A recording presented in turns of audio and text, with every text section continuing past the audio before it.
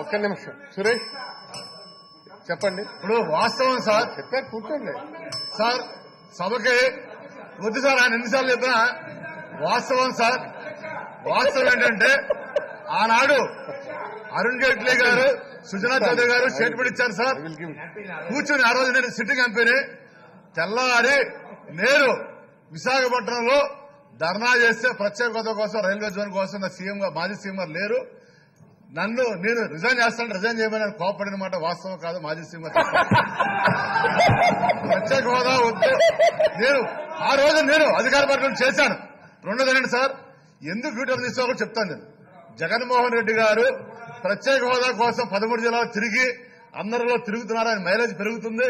ప్రత్యేక హోదా కోసం అడిగితే ఆంధ్రప్రదేశ్లో ప్రొఫెసర్ ప్రసాద్ రెడ్డి అని గడ్డా శ్రీనివాసరావు లేడు ఎడ్యుకేషన్ మినిస్టర్. ఆయన మీద కేసు కూడా పెట్టించారు ప్రసాద్ రెడ్డి మీద.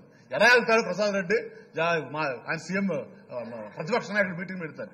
ఆయనకి మైలేజ్ పెరుగుతుందని ఆంధ్ర మైలేజ్. కోసం యూటర్న్ తీసుకుని ఆంధ్ర యూనివర్సిటీ. ఆంధ్రప్రదేశ్లో మళ్ళీ ప్రత్యేక హోదా కోసం మాట్లాడడం తప్పనిచ్చి అది ఆయన నూరదు కదా అని అరిచేస్తే వాస్తవం కాదు. ఇందాక అంబటరావు కరెక్ట్ చెప్పాడు. మనం తప్పులు చేస్తాం మనం మనుషులమే మనం దేవుళ్ళు కాదు.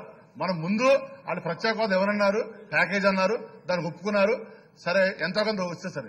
కానీ నేను ఒప్పుకోలేదు ఆ రోజున. నేను ఒక్కడే తిరగబడ్డాను. ఆ రోజున నిరాహార దీక్ష చేస్తే నన్ను మీరు సస్పెండ్ ఏంటి రాజీనామా చేస్తారు రాజీనామా వచ్చాయి బై ఎలక్షన్ పెడతారు నా మీద కోపడి. ఐదు గంటలకే ఆరు సార్లు సీఎం పేషెంట్ ఫోన్ చేపించి నాతో నిహార దీక్ష స్టాప్ చేపించారు. వెంకయ్యనాయుడు గారు ఫోన్ చేపించారు. సు- సుజనా చౌదరి గారు ఫోన్ చేసి సుజనా చౌదరి మా పార్లమెంట్ పార్టీ లీడర్ ఫోన్ చేసి నువ్వు ఒక్కడే ఎంపీ మిగిలిన ఎంపీలు కాదని చెప్పారు. సరే తర్వాత జరిగిపోయింది. ఆయన అమ్మరావు చెప్పింది కరెక్ట్.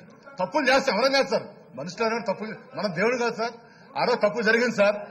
ఈ రోజున జగన్మోహన్ గారు ఆనాటి నుంచి ఈనాటి వరకు అది వస్తుందో తర్వాత సంగతి. ఆయన ఏ మాట చెప్పాడో దాని మీద కట్టుబడి ఉన్నాడు. ఆయన ఆయన అనిమల్ తిరుమల కేసులు పెట్టించుకున్నారు. అది చేశారు ఇది చేశారు. ఇప్పటికి కూడా ఆయన అదే మాట మీద కట్టుబడి ఉన్నాడు. కానీ మళ్ళీ దాన్ని హేళన చేసే విధంగా ఏతాలు చేసే విధంగా మనం తప్పు చేసి అది కరెక్ట్ కాదు. ఇందా చెప్పాను సార్ ప్రజలు ప్రత్యేక హోదా ఒకటే కాదు.